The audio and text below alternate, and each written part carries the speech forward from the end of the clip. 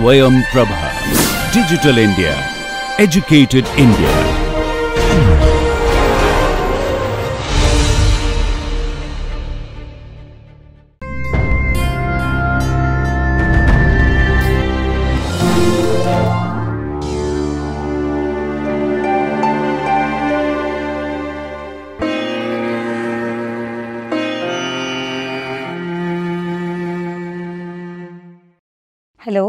Good morning everybody.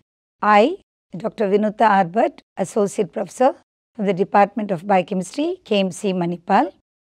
Today we'll start in a topic as what is called as mechanism of enzyme action. As we have already seen in the previous classes, we had a huge discussion on what is enzyme, what is the different action it has, and then moving on, today we'll see exactly what is the basis for the mechanism of enzyme action. Coming into the topic in detail, we'll just see a few lines of what basically is an enzyme and how do they act. So, enzymes are basically defined as thermolabile, colloidal, biological catalysts which are generally proteinaceous in nature and they are also synthesized by the living cells.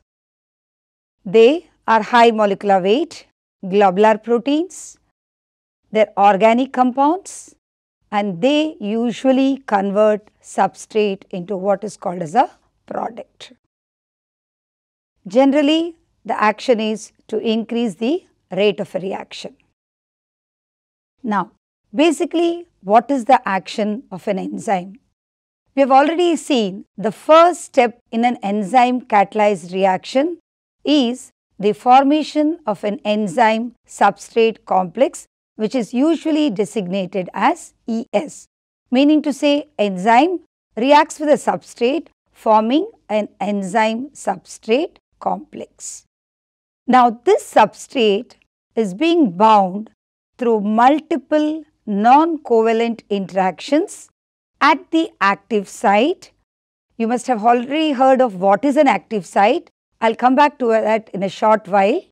So, these non-covalent interactions are at the active site of the enzyme forming an enzyme substrate complex which is subsequently being converted to a product and then it will give you a free enzyme.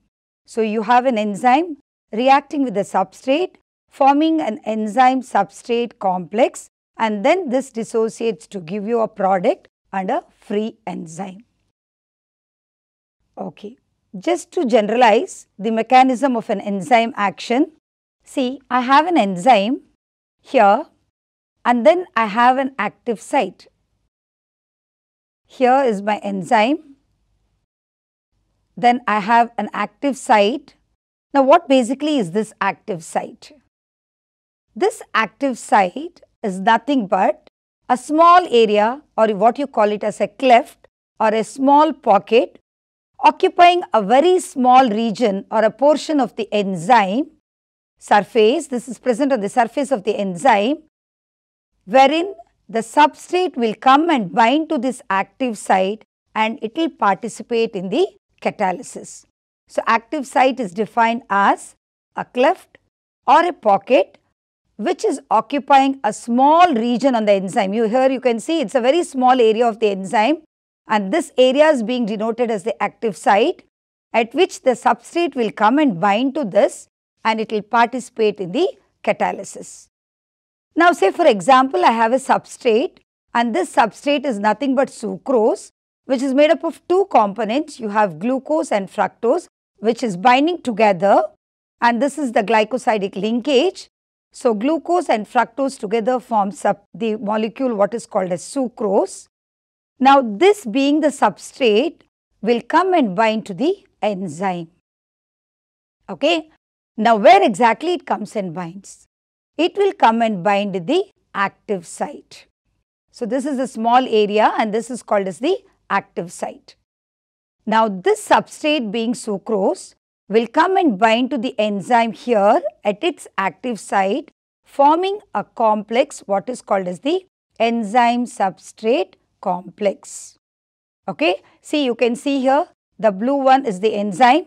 You had a small cleft here which was designated as the active site and this substrate being sucrose exactly comes and fits into the active site forming a ES complex. Okay, this is just the explanation for the previous slide. Now, upon binding of the substrate to the enzyme, you have a ES complex that is being formed. Now, the binding of the substrate to the enzyme forms a sort of a stress. Okay, it places a stress because the enzyme has to accommodate the substrate at its active site. Now, the binding of the substrate on the enzyme places a sort of a stress on the glucose and fructose bond. Now, this glucose and fructose that was forming what was called as sucrose, there is a stress that is being placed and the bond gets released. See here you can see the bond that is being formed. Here when the stress is being placed, the bond is being dissociated. So, what happens when the bond gets dissociated? You have glucose and fructose as the products that are being released and then the enzyme is free. Now, when the enzyme is free, automatically the enzyme is free for some other substrate to come and bind to the active site. So, this was the basic mechanism for any of the enzyme to act. Just to have a recap, we have an enzyme, we have certain small regions on the enzyme what is designated as the active site. These active sites are open for the substrate to come and bind. Basically, I had the substrate as sucrose and this substrate comes and gets fitted into the active site of the enzyme and it forms an enzyme substrate complex. So, the binding of the substrate and the enzyme places a stress on the glucose and fructose bond and the bond is being broken. When the bond is being broken, I have the products that is glucose and fructose being released and the enzyme is free for some other substrate to come and bind into it. So, this is the basic mechanism for any enzyme catalyzed reaction. Okay. Now, I said active site, I have shown you the active site, I have defined what is an active site. So, active site of an enzyme is that region that binds the substrate and that also contains specific amino acid residues and I have two residues basically one is called as the binding residue and the second being the catalytic residues and they possess three dimensional structures. Now these binding sites or residues they recognize and the bind the correct substrate to form the enzyme substrate complex. It will identify its own substrate and that substrate being the correct substrate will come and bind and it forms a enzyme substrate complex. And then I have the second residue what is called as the catalytic residue. This catalytic residue it creates a chemical environment that enhances the reaction rate and the enzyme substrate complex is being converted to an enzyme and a product. That was the last picture what we saw. So, it has two residues, one is the binding residue, another being the catalytic residue. So, here is just a pictorial representation of showing you the active site. Then uh, here the blue represents my enzyme the small cervix here is the active site and then I have the binding sites here which normally holds my substrate in place that is the substrate exactly comes and fits into this small area and here is the catalytic site where exactly the reaction takes place where I had the bonding which was the glycosidic linkage and on breaking on that bond I had my products that is being released. Okay. So, these are the small cervixes is the binding site which holds my substrate. See the picture of the substrate is such that it exactly will go and fit into this small area which is nothing but the active site and this area is the catalytic site where the reaction occurs. So, this is just a representation of the active site. Okay. Now, whenever I have a change Either the K change could be in the primary, secondary, tertiary or the quaternary structure that could alter the three dimensional shape of the active site which reduces both its binding as well as catalytic activity. Two models for substrate binding to the active site of an enzyme have been proposed to explain the specificity that an enzyme has for its substrate. You must have studied previously what is specificity. You had different classes of specificity like you had absolute specificity, you had group or broad specificity, you had stereo specificity, you had reaction specificity. Okay? So, basically what you do is there are models that have been proposed to explain the specificity that an enzyme has for its specific substrate. Now, coming to the exact mechanism, there had been proposed active site models to explain the mechanism of enzyme action. The first model being called as the lock and key model, otherwise called as Fischer's template theory. It could also be called as rigid template model. Why the name is given rigid, I will come to that shortly. The second model being the induced fit model which is otherwise called as the Koshland's theory and then the third one being the substrate strain theory. The lock and key and the induced fit is almost there everywhere being explained. Combination of that two slowly results in one more theory what is the substrate strain theory. Coming to the first lock and key model which is otherwise called as the Fischer's template theory, the structure and the conformation of the enzyme is rigid. That is why it has been called as the rigid template model.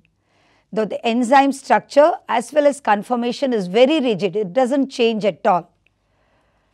Now, see I have the active site of the enzyme here. This is my enzyme and the small cervix or the region what I have is the active site. Here the active site of the enzyme is very very rigid and I have a pre-shaped template where only a specific substrate can come and bind. What do I mean by saying a pre-shaped template?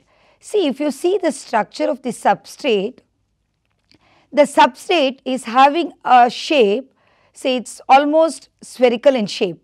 Now this shape can exactly come and bind to this region. It is almost rectangular here, this space can exactly come and bind into this area and it is sort of triangular here which exactly comes and fit into this area. So, the active site is so rigid that it can take in a substrate where exactly it can come and bind into this. Suppose instead of having a rectangular shape, it was again a spherical shape, naturally this substrate will not come and bind into this enzyme. So, the active site of the enzyme is so rigid, it will pick onto a substrate where exactly it can go and fit into this. Now, the substrate having an exact figure will directly come and bind into the active site and there forms what is called as an enzyme substrate complex. Okay? So, the active site of the enzyme is rigid and it has a pre-shaped template. This is a template where exactly a specific type of substrate can come and bind. And there exactly I, what I meant to say that this theory explains enzyme specificity. So, now you can see when it has a ES complex how exactly the substrate has come and bound to the active site of the enzyme.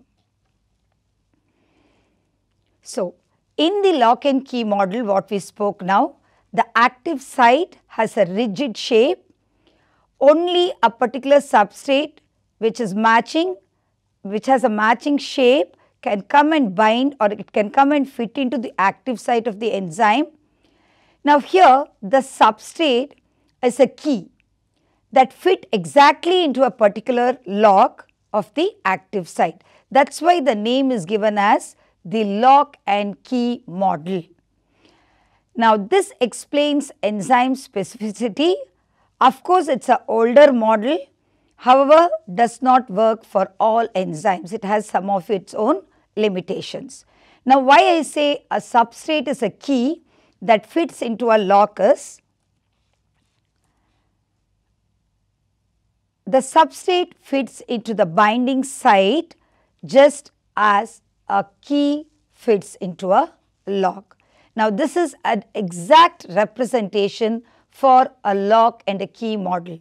See, if you see, I have a key here. Now, this key will exactly go and fit into this lock. I try to bring in some other key and try to open this lock, definitely it will not open, right. So, exactly the mechanism holds good for the lock and key model. I had a substrate which has an exact template which can go and bind into the enzyme. So, the active site is very very rigid where exactly that substrate can go and bind into the active site. Similarly, here I have a key this key can open only this lock. I cannot try to bring and fix in some other key and make this lock open. So, this model has been useful in understanding how some enzymes can bind only to a specific substrate, but it will not bind to any other compound with an almost identical structure. That is why it is very, very specific. So, it will bind to only a particular specific substrate and it cannot bind to any other compound with an almost identical structure. So, this model explains all mechanisms, but do not explain the changes that is occurring in an enzyme activity in the presence of allosteric modulators. Now, Fischer's model explained the specificity of an enzyme substrate interaction, but the implied rigidity of the enzyme's active site failed to explain the dynamic changes that must take place during catalysis. Of course, it had its, it was very rigid, but the implied rigidity of the enzyme active site, it failed to explain the exact dynamic changes that is taking place during a enzyme catalyzed reaction. A model that accounts for both of these aspects that is enzyme specificity as well as explaining the dynamic changes that is occurring. So, there was a model that was accounting for both of these aspects of the enzyme catalysis is the second theory that came into picture and that is what is called as the induced fit model. Now, this induced fit model is named after the scientist, it was Koshland. So, it is called as the Koshland's theory. Now, this theory is more acceptable and it is a realistic model to explain the enzyme substrate complex. Here the difference from the first one to the second one is that the active site was very very rigid and it had a pre-shaped template, right. Here the active site is flexible, it is not rigid unlike the lock and key model. So, the active site is flexible, it is not rigid and the interaction of the substrate with that of the enzyme induces a conformational change on the enzyme surface.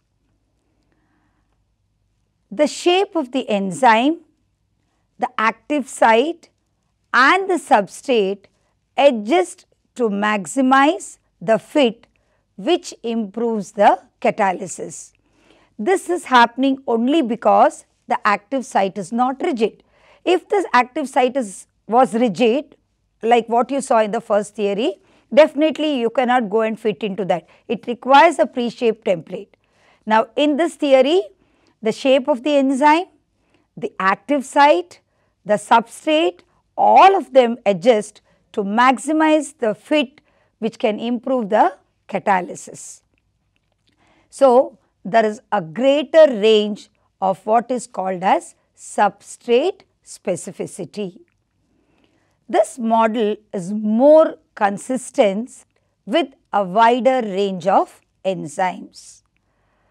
If you see the picture, have an enzyme here and if you see this active site, see it is not rigid because if you see the substrate, the substrate is almost the same as what you saw here in your lock and key model, right. See here it is almost spherical, but then again I have a triangular shape here, but it is not the same here in the active site, okay. That is why I meant to say that the active site is not rigid, but it is flexible, okay. And then I have a triangular shape, but here I do not have a triangular shape. So, despite of that active site not being rigid, this substrate will try to go and fit into the active site. See, the substrate somehow will go and fit into the active site, but here the active site not being rigid will try to accompany the enzyme. So, somehow the substrate went and got fit into the active site of the enzyme. So, it was more accommodative the active site.